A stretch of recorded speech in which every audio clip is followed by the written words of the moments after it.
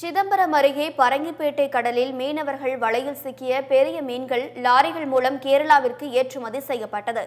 சிதம்பரம் அருகே உள்ள பரங்கிப்பேட்டை அன்னங்கோயில் என்ற இடத்தில் சிறிய மீன்பிடி துறைமுகம் உள்ளது. இங்கிருந்து தினமும் நூற்றுக்கணக்கான படகுகளில் ஏராளமான மீனவர்கள் கடலுக்கு சென்று மீன்பிடித்து வருகின்றனர். இந்த மீன்களை உள்ளூர் வியாபாரிகளும் வெளிமாநிலங்களுக்கு மீன்களை ஏற்றுமதி செய்யும் வியாபாரிகளும் மொத்த விலைக்கு ஏலம் எடுப்பார்கள்.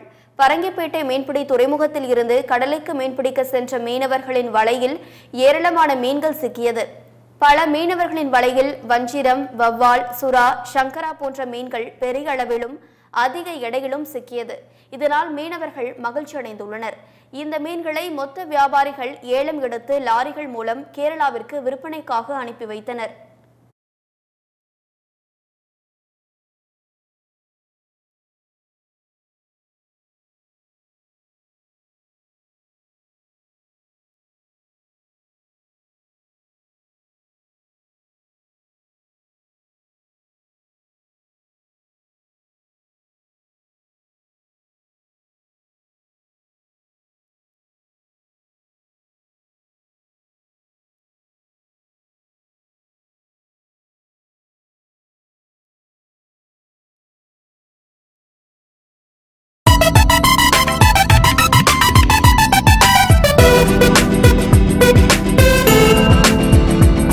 நீங்கள் பார்த்துக் கொண்டிருப்பது லோட்டஸ் நியூஸ் உண்மை மலரட்டும்.